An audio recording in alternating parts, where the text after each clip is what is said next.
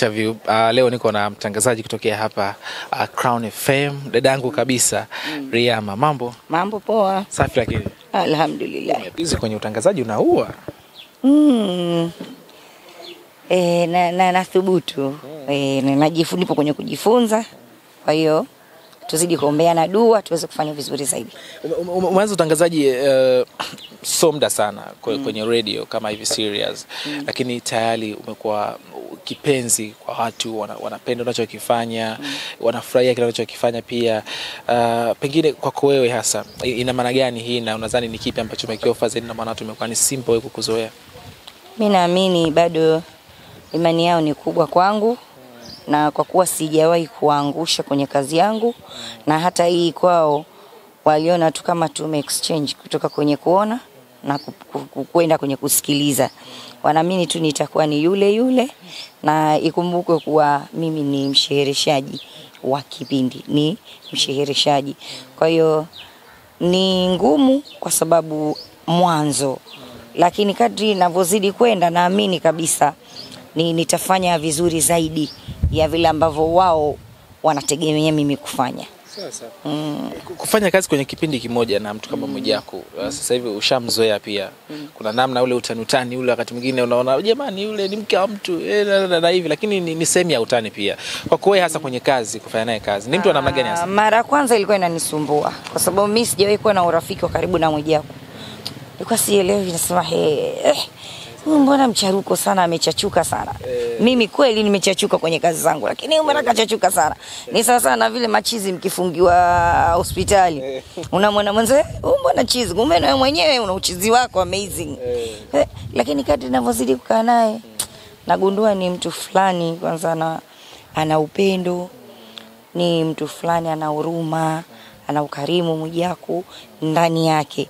Kwa hiyo ile karakta yake ya nje tumwachie mwenyewe, lakini ni mtu mmoja safi sana. Mm, hata ukiwa naye uboreki. Mm, kwa sababu anaheshimu kila mtu, abagui watu, anaheshimu watu, anaipenda kazi yake. Mimi napenda sana mtu anapenda kazi yake. Mwijaku anapenda kazi yake, sababu mashallah ana uambasada kwenye brandi nyingi tu tofauti, lakini zote anazitendea haki, anatenga muda wake na zote anazifanyia kazi ipasavyo. Watu watu wamekuwa wakimchukulia Mwijaku kama mtu fulani hivi, wakati mwingine labda anapitiliza kwenye masihara yake, una, unaita hivyo ama tuseme labda nje ya kazi kama hivyo. Mm. Alienda Marekani hapa juzi kati hapa na amekaa kwa muda kidogo kule, na miongoni mwa vitu alivyokuwa anavifanya kule, watu wengine walikuwa wanapongeza, wengine wanaona kama wanabeza, kwa nini inakuwa ni hivyo? Lakini kwa kwako wewe hasa ile alivyotokana kifanya kule Marekani, ulikuwa unakichukuliaje? Yani mimi kwangu naona sawa, alikuwa kitu kizuri, yupo kwenye karakta yake, yupo kazini kwake, mimi kwangu naona sawa.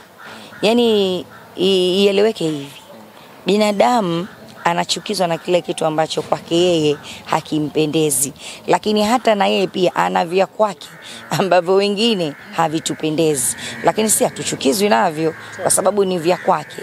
Ukiamua kufanya maisha yako jambo lako, usiangalie nani hapendi, nani hataki. Kikubwa tu uwe huvuki sheria na taratibu za nchi yako au nchi husika ambayo umekwenda, labda hiki hakitakiwi kufanyika hivi, alafu umekwenda kufanya, na maana unavunja sheria, na si sawa kuvunja sheria. Sisi wote tuko chini ya sheria, sheria ndio iko juu yetu. Kwa hiyo tuzilinde eh, na pia tuzifanyie kazi lakini kusema eti alikuwa anafanya kitu nani kilimkwaza nani, wewe unaongea, yule ni Mwijaku anafanya, wewe unakasirika nini? Si mtoto wako, si baba yako Mwijaku, si ndugu yako, ni msanii tu ambaye unamwangalia. Kama hujapendezwa, angalia upande wa pili ambao unakupendeza, lakini si kila kitu lazima useme. Hata wewe mwenyewe una yako ambayo watu hawayapendi, yani hawape, hata wewe mwenyewe hawakupendi, lakini wanashindwa kukwambia kwa sababu ni wewe. Kwa hiyo na wewe kuwa wewe, acha kutaka watu wawe kama wewe au wafanye vile vinavyokupendeza wewe. Wewe nani? Mungu alokuumba umpendezeshe. Sasa wewe tena unataka kupendezeshwa wewe nani? Eh, mind your business my dear. Mm, mind your business darling. Achana na maisha ya watu mengine yaendelee. Okay. mm. Sawa na, na, na kingine ambacho kiliwashtua kili, watu wengi, wewe kama mfanyakazi mwenzake, nadhani unaweza una maoni kwenye hili mm. Diamond alizungumza yeye anatamani kuwa na tajiri namba moja duniani mm. uh, ndoto, ndoto yake mm. na Mwijaku kule alichukulia serious, nadhani kwa bado yuko kule kule Marekani, akazungumza ya kwake pia, akaikataa ile kauli, akaiponda kwa namna moja ama nyingine mm. ikaja mpaka Diamond mwenyewe aka- aka- aka- akalichukua akaanza kulizungumzia kwa maana mbona unavuka pia aka- aka- akaibuka akalizungumza pia kwa kwa upande wake na ikaonekana kama Mwijaku sasa yuko katikati ambapo huko anakataliwa na huko anamkataa pia. Wakati inatokea kile kitu wewe uli- ulimpigia Mwijaku ama pia wewe ulijisikiaje pia kutokana na ile baada ya kutokea? alichoongea Mwijaku amekiongea Mwijaku, chavunja bei chavunja bei cha Diamond she Diamond, lakini mimi, kila mtu mtazamo wake. Mimi kama mimi naamini ndoto yake inaweza kutimia, kwa sababu hata alipofika kuna baadhi ya watu walikuwa hawaamini kama pale atafika, lakini leo kafika. Kwa hiyo naamini kabisa anachokisema akikisimamia kwa uwezo wa Allah atashika tu namba moja. Mbona simple sana mm, kabisa kabisa, kumtanguliza Mungu mbele, juhudi mm, heshima, yani hiyo ndio misingi na maendeleo, ndio misingi ya maisha mazuri. Hakuna kitu kingine, Okay. inawezekana. Mwijaku ni, ni kaka yako, ni mdogo wako, naweza kusema hivyo. Uh, kuna- Alafu Mwijaku na Diamond Waarabu wa Pemba wanajuana kwa vilemba, kwa hiyo yani usichukulie serious sana Eh, wanajuana kwa vilemba. kuna namna gani unapata na- nafasi ya kumshauri kumwambia kakaangu, mbona hapa kama sasa unakuelekea uta- utagonganisha magari hapa? tunashauriana Mm, hata yeye kuna kipindi aliniambia dada yangu kwambia kitu eh. Usiwajibu watu wakikutukana. Nikamwambia "Hey, hiyo ni style yangu ambayo mimi naipenda. Mimi naweza nikamjibu mtu yeye akaona mimi niko serious lakini siko serious kwa sababu nishajua baadhi ya wengi watu Insta wana upuuzi mwingi. Kwa hiyo na mimi nikagundua ukiwa serious sawa watakuwa watakubastisha kichwa. Kwa hiyo na mimi na yani sina userious nao. Hata ukiona nimejibu kitu basi na mimi nimejibu katika utani ule ambao yeye yule ameuliza. Kwa sababu ukimfuata mtu DM unamwambia ah, wewe kwa nini umeongea hivi labda unaongea mimi na roho mbaya wewe mimi unanijua. Mimi unijui. Na kuna watu wanasema wewe una roho mbaya. Unajua?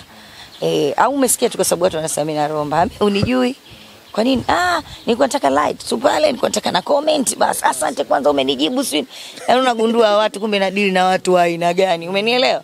Kwa sasa ukiwa serious Yaani kwa kweli da utaharibu furaha yako siku yako kwa maroboti tu ya Insta. Mengi maroboti tu.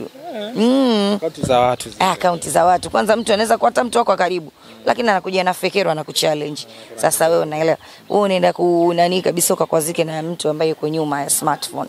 Kajificha, katumia jina jingine lakini wewe unamjua, anakuchallenge. Unamjibu tu short and clear basi. Lakini yeye akanambia achana nao usijibu. amna neno yule yule. Anakuwa ndo shabiki yako. Kwa hiyo leo naambia aje kwa adabu basi. Okay. Yes, sio kwa kunitukana, usijue kwa kunidhalilisha. Ah ah. Message iwe nzuri, tujibiane vizuri. mm. Inashindikana, piga kimya, pita tu. Mbona mimi napita kwenye kurasa za watu kimya kimya? Kwani zote zinanipendeza? Asinipendezi, lakini naona acha kwake, kapenda mwenyewe, kaposti. Good.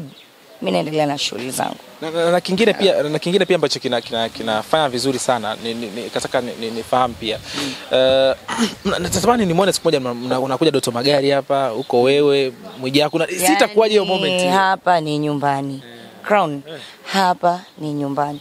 Tegemea kumuona yoyote.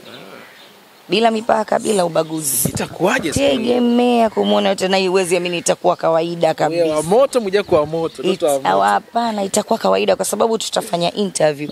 Hatuendi kufanya ushindani, hatuendi kugombana, tunaenda kufanya interview.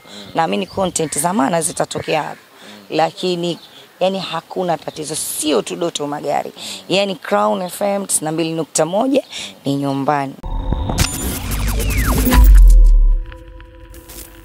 Bongo Trendy TV.